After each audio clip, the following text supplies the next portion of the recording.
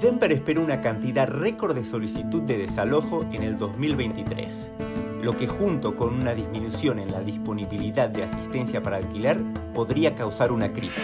Abrumada por la reciente oleada de migrantes, Denver se acercó al gobernador para pedirle apoyo a la Guardia Nacional de Colorado. Identifican a joven de 15 años asesinado a tiros en el Southland Mall. Rafael Belín fue asesinado el sábado por la noche y no hay sospechoso bajo custodia.